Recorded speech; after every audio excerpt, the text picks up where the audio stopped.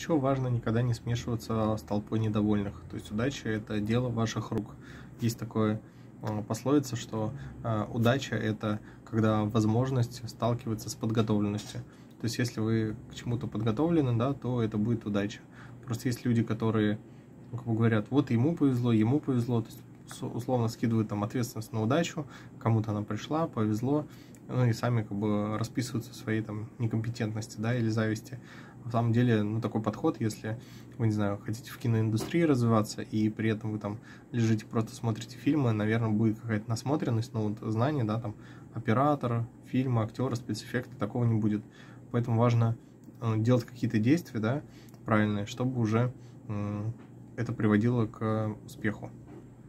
Получается, нужно как раз развивать свои навыки, чтобы не увязнуть в негативе.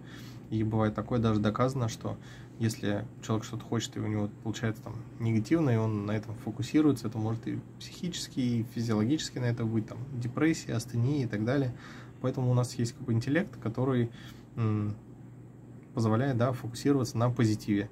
Это как раз такая сила мысли если вы на какие-то негативные события не можете никак повлиять и просто размещаете свой страх вот в этих вещах, там, смотрите новости или еще что-то, лучше сфокусироваться на позитиве, немножко прокачать свой мозг, начать делать какие-то действия, идти от обратного, так сказать, чтобы уже развиваться и удача как раз сопутствовала вам.